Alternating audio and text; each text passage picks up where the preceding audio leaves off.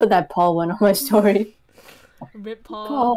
Paul, no. How could you, Paul?